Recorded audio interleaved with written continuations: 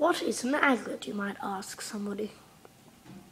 Well, if they can't answer you, an aglet is the end of a shoelace, the metal bit or the plastic bit on the end of a shoelace. So, that now you know.